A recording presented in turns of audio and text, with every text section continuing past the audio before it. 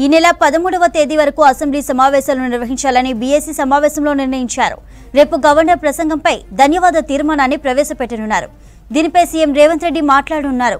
ఎల్లుండి సభలో vote on account budget ప్రవేశపెట్టనుంది ప్రభుత్వం. పదకొండున ఆదివారం సెలవు పన్నెండున బడ్జెట్పై సభలో చర్చ జరగనుంది.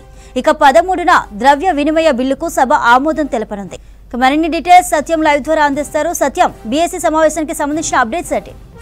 తెలంగాణ అసెంబ్లీ సమావేశాల బడ్జెట్ అసెంబ్లీ సమావేశాలకు సంబంధించి బీఏసీ సమావేశం ముగిసింది. ఈ బీఏసీ సమావేశంలో ఈ బడ్జెట్ సమావేశాలు ఐదు రోజుల పాటు నిర్వహించడానికి శాసనసభ బీఏసీ సమావేశం ఆమోదించింది. అయితే స్పీచ్ స్పీకర్ అధ్యక్షన జరిగిన ఈ సమావేశంలో సభ ఎన్ని రోజులు నిర్వహించాలి? మొదట ఈరోజు గవర్నర్ ప్రసంగం తర్వాత రేపు గవర్నర్ ప్రసంగానికి ధన్యవాద తీర్మానం పైన అన్ని పార్టీలకు సంబంధించిన నేతలు ప్రసంగిస్తారు. ఆ తర్వాత ఎల్లుండి డిప్యూటీ సీఎం ఆర్థిక శాఖ మంత్రిగా ఉన్న బట్టి విక్రమార్క ఓటాన్ బక అకౌంట్ బడ్జెట్ని ఆయన ప్రవేశపెడతారు. ఆ తర్వాత తర్వాత పద ఈ నెల పదకొండవ తేదీన సెలవు ఆ తర్వాత అదేవిధంగా పన్నెండు పదమూడవ తేదీన బడ్జెట్పై విపక్షాల నుంచి రియాక్షన్ తీసుకున్న తర్వాత ఐదు రోజుల పాటు బడ్జెట్ అసెంబ్లీ సమావేశాలు కొనసాగేటట్టుగా బీఏసీ సమావేశం నిర్ణయించింది. అయితే ఇటీవల ముఖ్యమంత్రి రేవంత్ రెడ్డి అంటే గతంలో గత ప్రభుత్వం చేసిన ఇరిగేషన్ సంబంధించిన అంశాలపై అసెంబ్లీలో చర్చిస్తామని కూడా సవాల్ విసిరారు.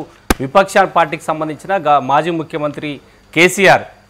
గతంలో ఇరిగేషన్ సంబంధించి ప్రధానంగా కాళేశ్వరం నిర్మాణం ఎంత లోపభీష్టంగా జరిగింది ఎందుకు మేడిగడ్డ కూలిపోతుందనే అంశంపై పూర్తిగా డీటెయిల్తో సహా సభలో చర్చించడానికి తాము సిద్ధంగా ఉన్నామని ముఖ్యమంత్రి రేవంత్ రెడ్డి సవాల్ విసిరారు. ఎంతసేపు బీఆర్ఎస్ నేతలు మాట్లాడినా తాము మైక్ కట్ చేయమంటూ కూడా ఇటీవల ముఖ్యమంత్రి రేవంత్ రెడ్డి ఈ అంశంపై అసెంబ్లీలో చర్చ పెడదామంటూ కూడా సవాల్ విసిరారు. దీనిపై గతంలో ఇరిగేషన్ శాఖ అదేవిధంగా ఆర్థిక శాఖగా పనిచేసిన మాజీ మంత్రి హరీష్ రావు కూడా స్ప- స్పందించారు.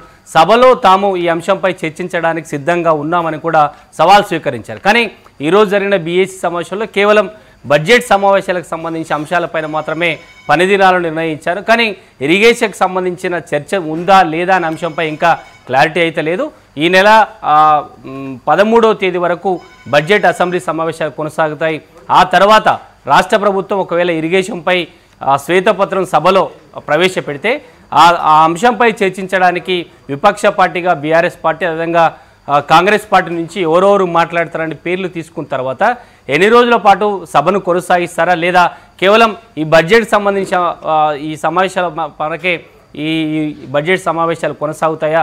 ఇరిగేషన్కి సంబంధించి రాష్ట్ర ప్రభుత్వం సభలో ప్రవేశపెడుతుందా లేదా అనే విషయంపై ఇంకా అయితే క్లారిటీ లేదు. ఈ అసెంబ్లీ సమావేశ బడ్జెట్ సమావేశాలు మాత్రం ఐదు రోజుల పాటు నిర్ణయించడానికి బీఏసీ నిర్ణయించిందని చెప్పొచ్చు చంద్రిక.